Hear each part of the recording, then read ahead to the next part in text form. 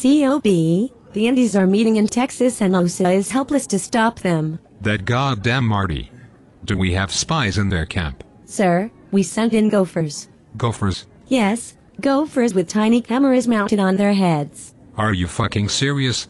Do you want me to beat the daylights out of you again? Sir, these are specially trained espionage gophers. Espionage gophers? Whose fucking bright idea is this? Sir, it was David Lubow's bright idea.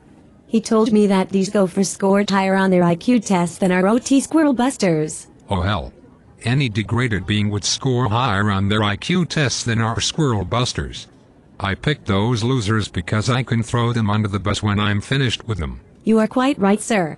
The squirrel busters are incredible morons. However, we needed the espionage gophers to get around the film permit rule.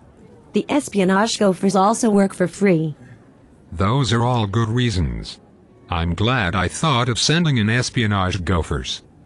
You are a genius, sir. Fucking right, I am a genius. That is why I am the Pope of Scientology. Now, what have my espionage gophers reported about the goddamn Indies?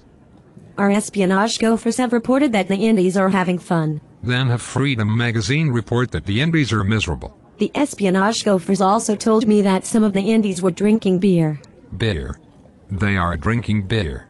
I want Freedom magazine to report that the Indies are using LSD. The espionage gophers also said that the Indies were joking and degrading about you. Then have Freedom magazine report that the Indies are attacking a religious leader. Sir, it gets worse. The espionage gophers said that there was going to be a major leak on the internet about you very soon. Holy fuck. Get Tom Cruise's private jet ready. I suddenly need to get to the Freewinds as soon as possible.